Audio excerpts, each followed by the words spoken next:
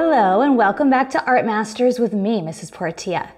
Today we're going to be doing some Parisian posters just like Henri Toulouse-Lautrec. We are going to use some crayon to make some excellent line work and some washes co of color to make our posters of our friends from Paris, just like Lautrec would do posters of his friends in Paris. So let's go ahead and get started on our Parisian posters. So the first thing we're going to use in creating our drawing today is our manila paper, just like Lautrec used this kind of almond colored paper, and our black crayon. We're going to use a crayon instead of a brush so we have a little bit more control when we're making our drawing. So we're going to be doing a directed draw, drawing a face. A lady to be a gentleman. To start either a lady or a gentleman, we're all going to do the same first steps. So everyone's going to watch first and then you're going to do it. So we're going to hold our crayon and I'm going to have you do a couple of practice strokes. We're treating this like a brush today. So everyone should have some newsprint. So Lautrec liked to use some thin lines and some thick lines and maybe even some wavy lines. So when I push hard, ooh, I'm gonna get a nice dark and thick line. If I just push lightly, I'm going to get a thinner line that's very light. We can make a dark and wavy line and I can lift and push my crayon and I'm gonna get different um, thicknesses of my line. I could do a straight line. I could do a thin line. So you could go ahead and practice some of these crayon strokes and then uh, we'll get started on our directed draw. Great, so hopefully you guys just did a couple of little crayon strokes, getting used to your crayon. We're not just scribbling, we're just working on quality of line. So now let's start our directed draw by watching first. So the first step we're going to do is, this is the middle of my paper. I'm just gonna go just above the middle of my paper. And I'm going to draw, watch first, a straight line. And I'm not going all the way to the edge. I'm just drawing a line kind of close to the middle of my paper, but a little bit higher and not touching the edges. So I made a nice dark line. So go ahead and take your crayon and you're gonna find the middle and then just go up a little bit and draw a straight line. Lovely. So the next thing we're gonna do is we're gonna draw basically the shape for this face. Now I want my face to take almost my whole poster. So I'm gonna make sure that my U shape is very big, but I'm gonna leave a little bit of space on the bottom. So let me show you. I'm gonna draw a big U shape, or almost like a happy face. And the nice thing is about faces is they're all different shapes and sizes. So if yours looks a little bit different than mine, that's totally fine. So watch what I do. I'm gonna start at this line, close to the edge, and I'm gonna go down, down, down, down, down. Not all the way to the bottom. Maybe I'll put like three or four fingers here. And then I'm gonna go back up to the top. So I'm leaving a little bit of space on my line and I'm making kind of a big U shape. So go ahead and everyone take your crayon and you're gonna make a big U shape. Nice big face. Great job. So let's everyone just take a second and we'll make sure that our lines are connecting, right? So we have the line on the top and the big U shape. So now you might want to decide if you want to do a man or a woman. If you're not sure, you could just decide what type of hat you would like them to wear. So the first one I'm going to show you is this kind of frilly, puffy hat, which I'm going to make a woman, but you can make it whatever you would like. So let's watch how I do uh, this hat, I'm gonna go to the top here and I'm gonna kind of do like a wavy line. So I might push hard.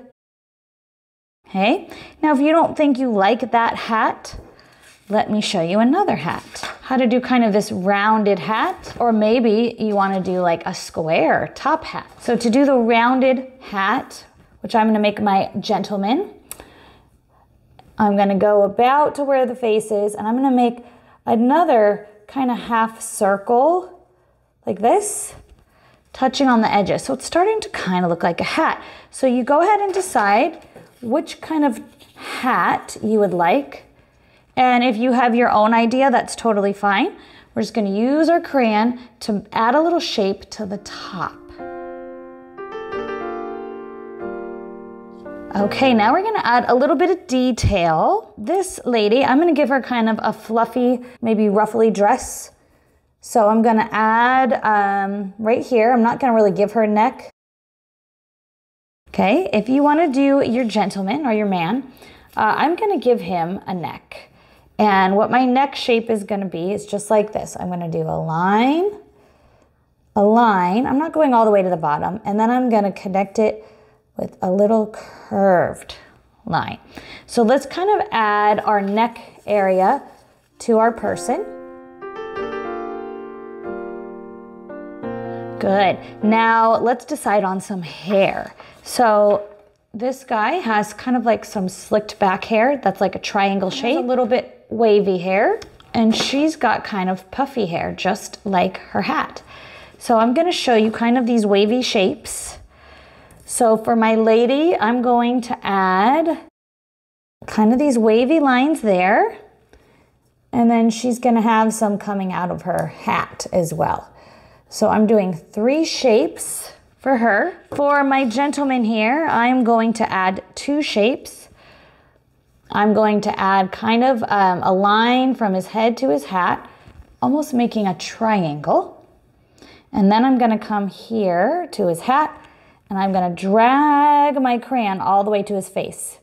So I'm gonna go from here, drag my crayon, I might have to hold my paper and connect.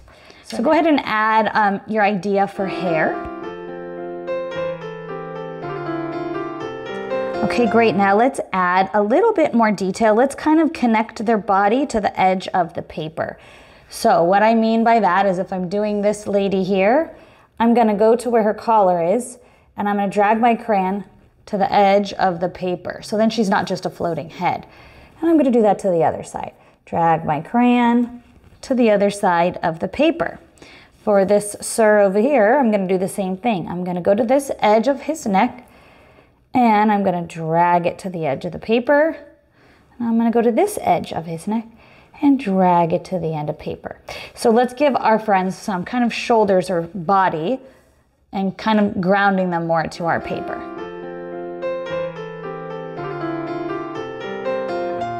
Excellent. I think it's time to give our friends um, a little bit more of a face. So I'm going to keep mine very simple and I'm going to add two eyes and my eyes are going to be closed eyes. And what I mean by that is right here. I'm going to kind of put my crayon in the middle of my face. So now I know about where to put the eyeballs. And I'm gonna make kind of an upside down happy face like this. And that looks like kind of closed eyes if you were smiling. And now watch how I'm gonna do my nose. Again, a nose, I'm gonna do two different kinds, but everyone has different noses. So noses, just like your nose, goes right in between your eyes. So her nose, I'm going to go down and make a triangle. I'm gonna do his eyes and nose. His eyes, I'm gonna do the same, whoop, whoop, little upside down shape, but I'm also gonna add a circle underneath so it looks like an eyeball. And for his nose, he's just gonna get a line for a nose.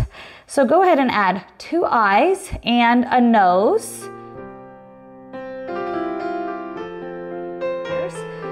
So I'm going to add a mouth, and our mouth goes right underneath our nose, just like us.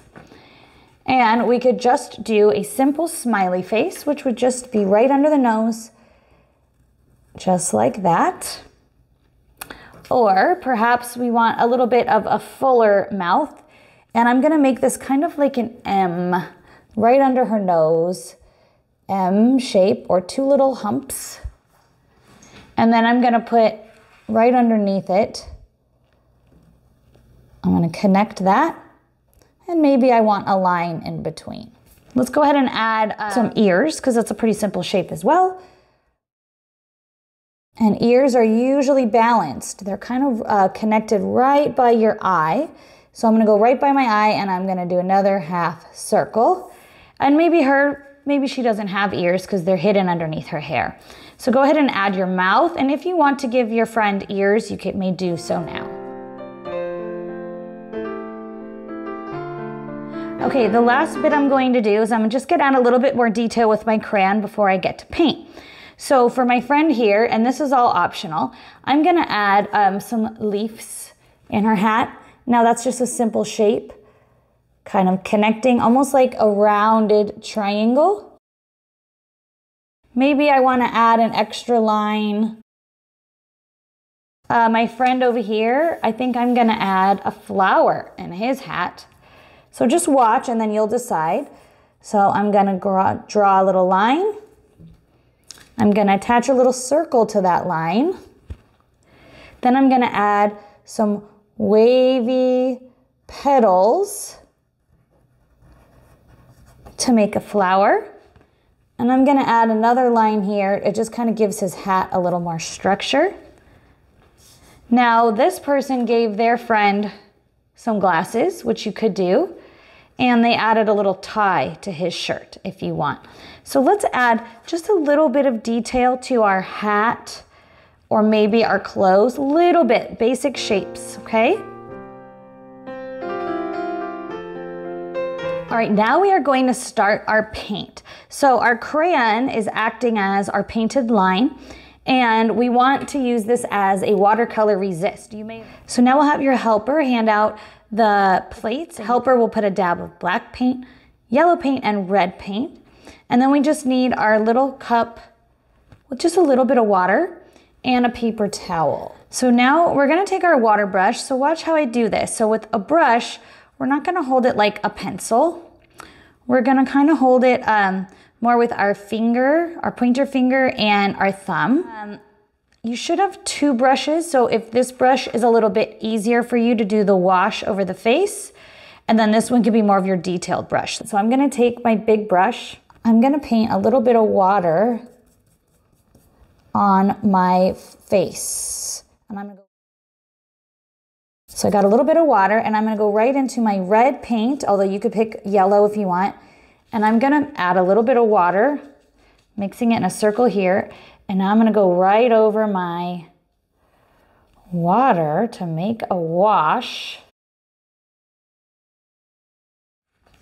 This face, I'm just gonna add the wash straight on so you can see the difference. So I'm gonna take my water and I'm gonna dip a little bit in yellow and I'm mixing right here. I'm not putting the paint directly on, I'm mixing it with water first. So let's have everybody uh, go ahead and you could take your bigger brush to start with and we're gonna do a wash on the face. Great, now we're going to add, um, we're gonna paint some other areas. So you can pick whatever color you want. I'm just showing you guys examples. So I'm going to go ahead and paint um, with my big brush still against these bigger areas and then I'll use my smaller brush. And I'm gonna do the same thing. I'm going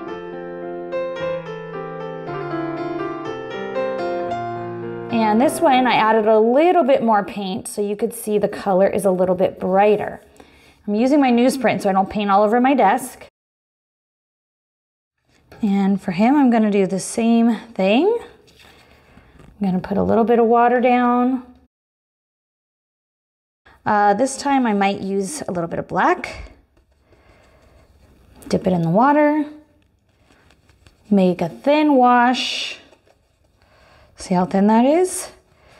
And then I'm gonna put it right over. Good, so let's go ahead and fill in our next big spot. Paint with water and then put a nice little um, painted wash by just a little dab of color with a little bit of water.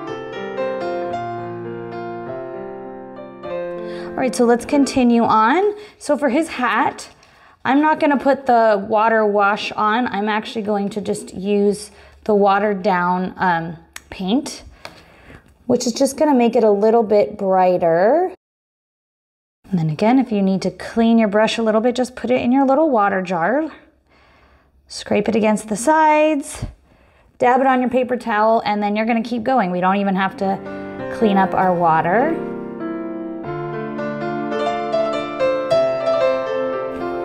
So now we can continue to use our little brush, adding more of the detailed spots, keeping it a point. And if you don't like this little brush, you can continue using your big brush. And we're gonna fill in some more of these spots, trying to stay within our crayon lines and always pulling the brush and we could re-dip mid-stroke. And we could go right back in there you see, I'm not scribbling, I'm pulling my brush calmly. So let's fill in some more spots. We could use our big or our little brush.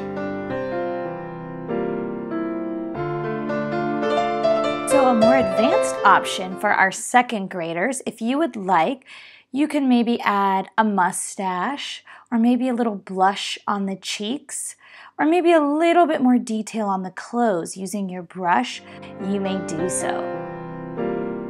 So once we're pretty much finished with our painting, we are going to get our red paper and write our name on the back with pencil or crayon. And we're gonna glue a Toulouse-Lautrec about our artist. We're going to glue our poster onto our red paper. If you're, and then we are all done with our Henri Toulouse-Lautrec poster. Great job everyone today with your posters by Lautrec. I hope that you're very happy with your faces and how they came out. And if you have time or when they're hung up, you guys can evaluate each other's work by pointing out positive things about maybe the composition or the washes of color or the way they did their crayon lines. So I hope you enjoy doing your Parisian poster by Henri Toulouse-Lautrec, and we'll see you next time on Art Masters.